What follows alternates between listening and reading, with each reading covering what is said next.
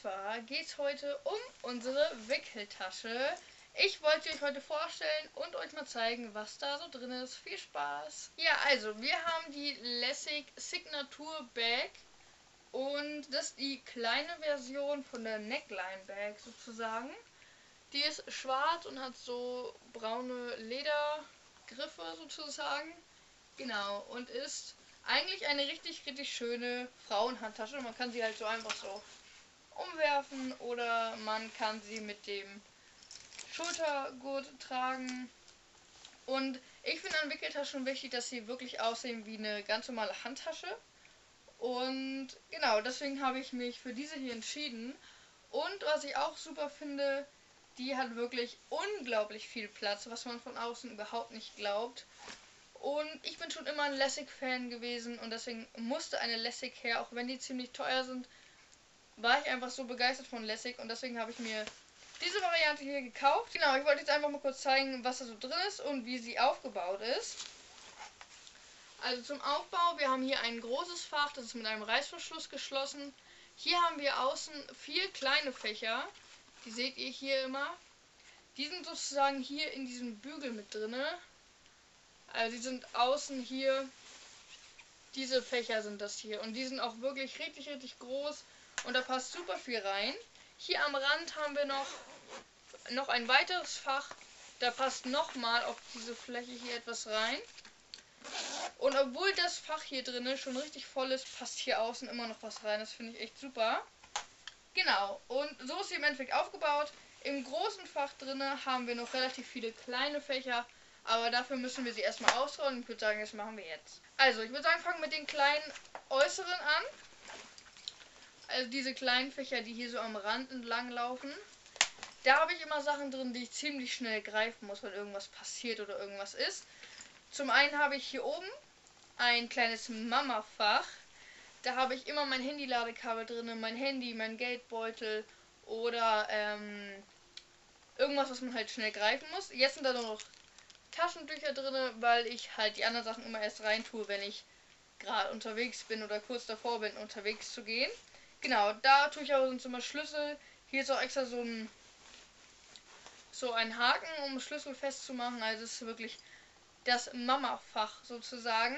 Dann haben wir ein Fach, da habe ich einmal eine Flasche drin.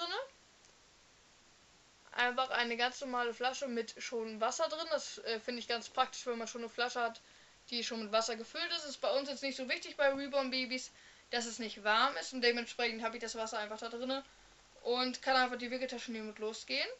Dann haben wir außerdem hier noch so ein kleines, äh, so eine kleine Flasche sozusagen. Ich weiß nicht, wie ich das nennen soll. Und die kann man so aufdrehen und dann ist da Pulver drin, also unser Kaffeeweißer, unsere Fake-Milch. Und das reicht ungefähr für drei, vier, fünf Flaschen. Und das habe ich immer so dabei. Und wenn ich unterwegs bin, mache ich einfach die Flasche auf, davor ein bisschen rein, einmal schütteln und es ist fertig. Und genau, das finde ich so eine super Kombi und mehr braucht man einfach nicht. Dann haben wir in einem großen Fach ein Spucktuch drin, also eine Mullwindel. Die nehme ich eigentlich immer als schnelles Regenverdeck sozusagen oder als Sonnenschutz oder als kurz mal ähm, Verdeck oder halt wenn man in der großen Menschenmasse steht und nicht unbedingt will, dass man die Kleinen so offensichtlich sieht, dann nehme ich einfach das kurz werfe es kurz über den Kinderwagen und fertig ist. Dann haben wir in der letzten Tasche einfach nur ein Kuscheltier, um die Kleinen zu beruhigen. Das ist jetzt der Hase von, äh, der Löwe von Bennett, den er mitgebracht hat. Und genau, der befindet sich auch noch hier außen einfach. Genau, und dann kommen wir auch schon ins innere große Fach. Das kann man, wie gesagt, mit einem Reißverschluss verschließen. Und das erste, was wir direkt sehen, ist ein Schnuller. Das ist nämlich dieser hier, der ist für Benetton jetzt, weil ich habe diese Tasche jetzt so für euch aufgebaut, wenn ich mit Benetton rausgehen würde. Und ich baue sie halt um, wenn ich jetzt zum Beispiel mit Mel rausgehe. Manchmal habe ich beide dabei, dann habe ich auch alles doppelt dabei. Und genau, jetzt sie so aufgebaut, dass ich mit Benetton unterwegs bin. Da haben wir einfach einen Nuck-Schnuller mit passender Schnullerkette als Ersatz dabei. Er hat immer einen im Kinderwagen, aber ich habe auch gerne mal einen Ersatz dabei. Dann haben wir ein Kirschkernkissen, das ist von Hip. Und das ist so ein Kirschkernkissen. Das tut man in die Mikrowelle, wenn Babys zum Beispiel Bauchschmerzen haben oder so. Und ich bin ein Fanatiker davon. Wenn ich Unterleibschmerzen habe oder Regelschmerzen. Das ist einfach ein Traum. Und ich habe es dabei, weil ich es, wie gesagt, optisch auch wieder sehr schön finde, wenn man sowas dabei hat oder beziehungsweise einfach, ähm, ich mag Wickeltaschen von Reborn Babys, die wirklich aufgebaut sind für ein echtes Baby. Und ich finde sowas auch super praktisch, wenn man mal unterwegs ist. Man kann die auch manchmal im Restaurant erwärmen lassen, einfach kurz für eine Minute in die Mikrowelle und dann ist es kochend heiß. Und das finde ich wirklich super. Auch für sich selber im Winter einfach kurz im Restaurant fragen, ob das warm werden, ob das warm gemacht werden kann und da hast du warme Hände. Also ich habe sowas gern dabei. Es reicht jetzt im Winter und ich finde es einfach total cool. Also so eine richtig coole Erfindung. Dann haben wir das nächste dabei und das ist unser Pflegeset. Das brauchen wir jetzt immer nur für Benetton. Und äh, genau, das ist für seine Haare und der Pinsel ist hier für die kleinen Hautfalten der Babys. Das ist so ein ganz normaler Pinsel und den haben wir auch immer dabei, auch wenn Mel dabei ist. Und das andere ist unser Pflegeset, wenn wir mit Benetton unterwegs sind. Einmal wieder so eine Flasche wie von dem Futter, da ist aber unser Wasser drin für seine Haare. Und einmal eine Zahnbürste für seine Haare. Genau. Das ist unser Pflegeset, das haben wir immer dabei. Wenn Benetton dabei ist, greife ich einfach schnell am Wickeltisch weil ich mache so oft seine Haare, während wir spazieren sind. Und das finde ich so wichtig, weil sonst sieht er auch wie so ein kleiner Strubelpeter sozusagen. Genau, und das nächste, was wir dabei haben, ist unser Bekleidungsset. Das habe ich euch schon mal in meinem alten Video ge äh, gezeigt von meiner Wickeltasche. Und das hier ist eine kleine Rolle mit einem kompletten Babyset und super platzsparend. Ich glaube, platzsparender geht es kaum. Genau. Und äh, wie das geht, zeige ich euch jetzt. Das ist so aufgebaut. Und am Rand haben wir schon mal die Söckchen. Können wir einfach so abziehen. Zack, dann haben wir schon mal ein paar Socken. Dann könnt ihr das hier einfach aufrollen. Das ist wie so eine kleine Rolle. Und hier liegt dann ein Body mit einer Hose. Da könnt ihr natürlich noch eine Mütze reinlegen. Ihr könnt hier auch noch einen Pullover mit reinlegen oder irgendwas. Ich finde, dieses Set ist immer ganz praktisch mit einem Langarmbody und ein, einer Hose oder einer Leggings. Weil wenn man, wenn das Baby wirklich was daneben geht oder wenn das Baby was daneben macht, dann ist es eigentlich immer nur das, was du auswechseln musst, außer es spuckt den Pullover voll. Und genau, deswegen habe ich immer so ein Langarmbody und die Hose dabei. Und das und das wird einfach so gemacht, dass du den Body vor dir hinlegst, komplett aufklappst, die Hose nimmst. Wir haben jetzt hier so eine Hose. Die legst du einfach so, als wenn das Baby das anhätte.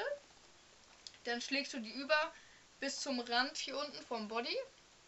Also hier ist der Bodyrand und hier der Hosenrand jetzt. Klappst einfach so über. Machst hier rein, was du noch möchtest. Also wenn du einen Pulli hast, legst du ihn einfach so hin, wie der Body ist. Und dann eine Mütze legst du einfach rein. Dann machst du die Ärmel rüber. So.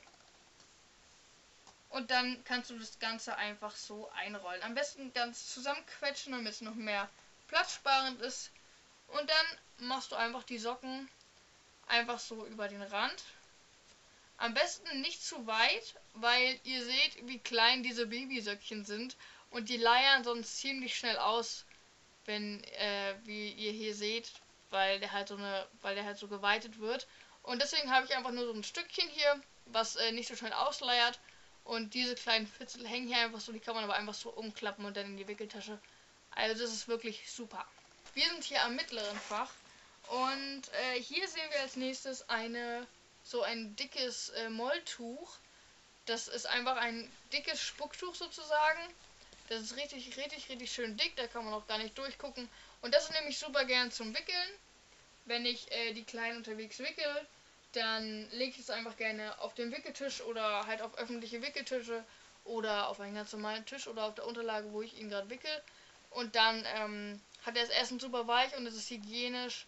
Was natürlich jetzt bei Reborn Babys nicht so wichtig ist, aber ich mag es einfach viel lieber, wenn das so, wenn ich selber weiß, okay, ich habe jetzt keine Angst, dass ich mein Kind dahin lege. Und deswegen habe ich mal so ein Tuch dabei. Das finde ich auch super, wenn die Kinder zum Beispiel im Sommer einfach mal auf der Bank liegen im Park oder auf, auf ähm, dem Rasen liegen. Dann kann man sich einfach das ausbreiten und da hinlegen.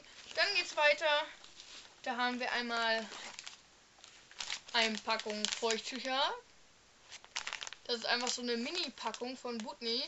Die habe ich eigentlich nur, weil ich finde, das reicht auch vollkommen für Reborn Baby. Genau, dann haben wir ganz unten noch ein weiteres Spucktuch. Und das ist dann für das Füttern oder so. Und Einfach für den für das Bäuerchen sozusagen. Und dann als letztes haben wir natürlich auch noch dabei Windeln. Da haben wir immer zwei Stück dabei. Je länger wir unterwegs sind, packen wir natürlich mehr ein oder desto mehr Babys dabei sind, packen wir natürlich mehr ein. Und das sind jetzt die Pampers Newborn in Größe 1. Dann habe ich immer noch so ein kleines Babyset dabei, jetzt im Winter oder auch im Herbst. Und das besteht so aus so kleinen Fäustlingen. Einfach so kleine Fäustlinge. Ein Halstuch von H&M und einer Babymütze von H&M. Und das war's auch schon. Das war unsere Wickeltasche. Und ich hoffe, euch hat es gefallen. Mich würde mal gerne interessieren, was ihr so in eurer Wickeltasche habt. Ob ihr überhaupt eine habt. Das ist eine ganz große Frage. Weil ich hatte sehr, sehr lange Zeit eine. Dann hatte ich wieder ganz, ganz lange keine. Und jetzt bin ich super glücklich, dass ich wieder eine habe. Und auch so eine schöne, weil mit der geht man wirklich gerne raus. Ich versuche sie mal in der Infobox zu verlinken, wenn ich sie finde. Und sonst müsst ihr einfach mal bei Lessig schauen oder bei eBay Kleinanzeigen. Findet man die auch super günstig und genau. Ich hoffe, euch hat es gefallen und dann bis zum nächsten Mal.